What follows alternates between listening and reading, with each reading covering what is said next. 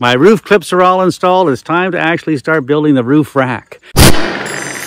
Hello and welcome to Van of Action, where we're taking a 2018 Dodge ProMaster van and turning it into a family camper. Today we're talking about the roof rack, and if you're thinking of doing this, you want to watch because this all in, this roof rack was less than $200. Along the way, if you find this useful, please give us a like and a share, and by all means subscribe. And we really enjoy comments, so please, if you have any questions or comments, we'd love to hear from you. Let's get started. I don't see this as being that big a job. It's going to be a fair bit of drilling and fitting, but at the end of the day, it's only four pieces of aluminum in order to mount my first solar panel. And initially, because I can't get parts, I was able to scrounge up from a neighbor one MC4 cable, so I can only install one, one panel to begin with. But I want to test the system, so that's what I'm shooting for today. To put all four or all three uh, solar panels on would be a total of six pieces of metal. So I'm going to be almost there anyway, but let's get started.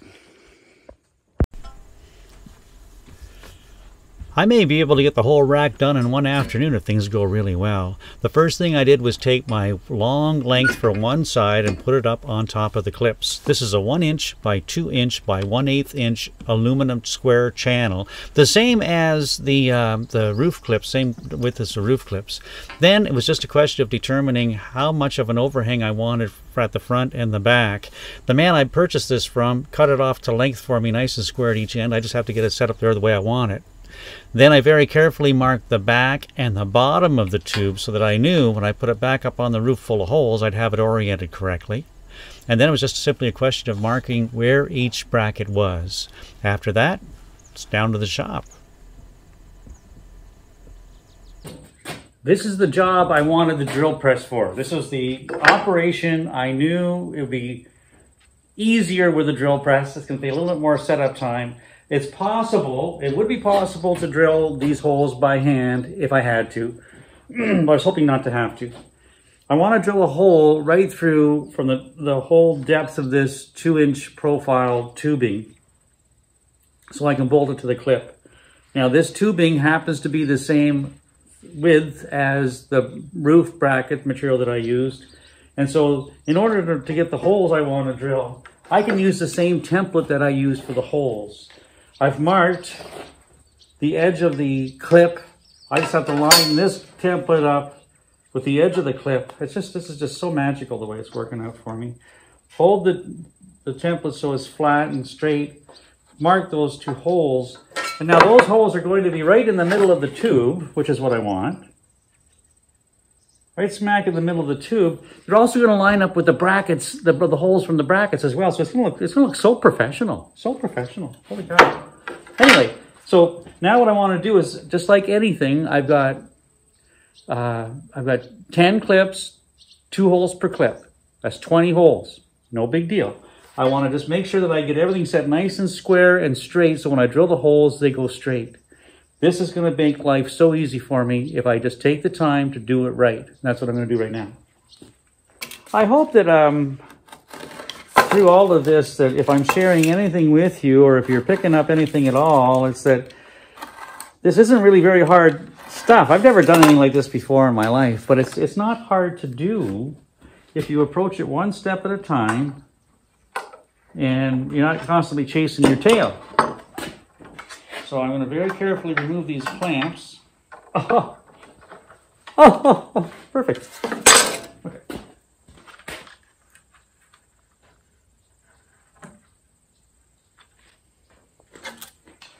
So do the same at this end.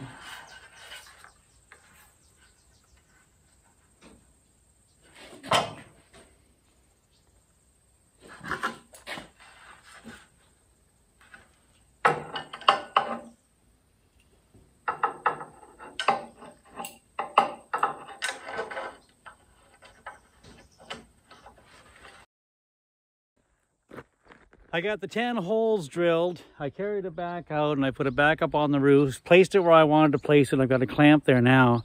Now I have to drill the holes through the top channel and through the bracket so I can bolt them together.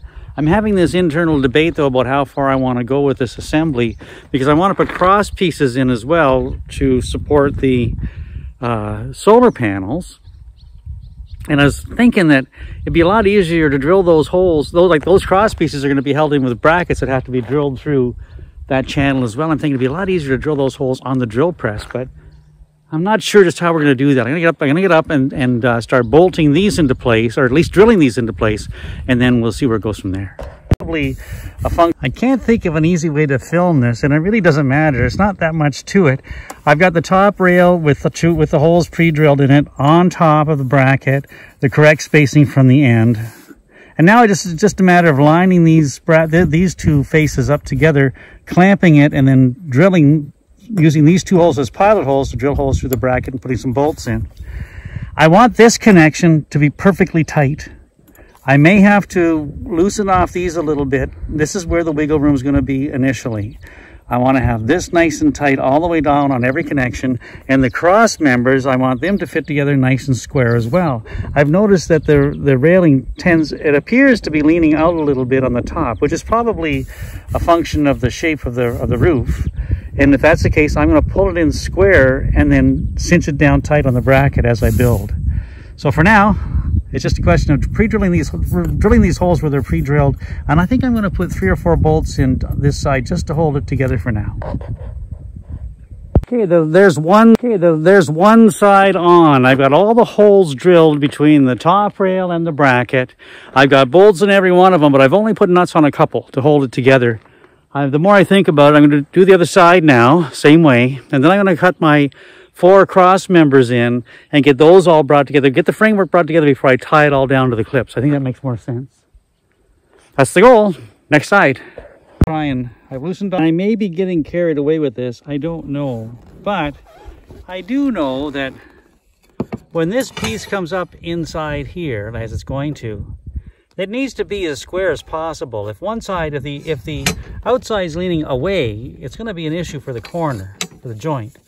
I don't want to start cutting everything crooked. So uh, what I've done is I've used this strap to try and, I've loosened off the, the brackets on the roof pins and used this strap to pull them closer together. Now, there's no way to regulate the way you're pulling them, so you got to use a little judgment here because one side might come more than the other for whatever reason. So I just want to get them relatively close to being square. That'll give me the, uh, a really good idea for the length of the cross member and I'll cut that and then we'll see where we go from there.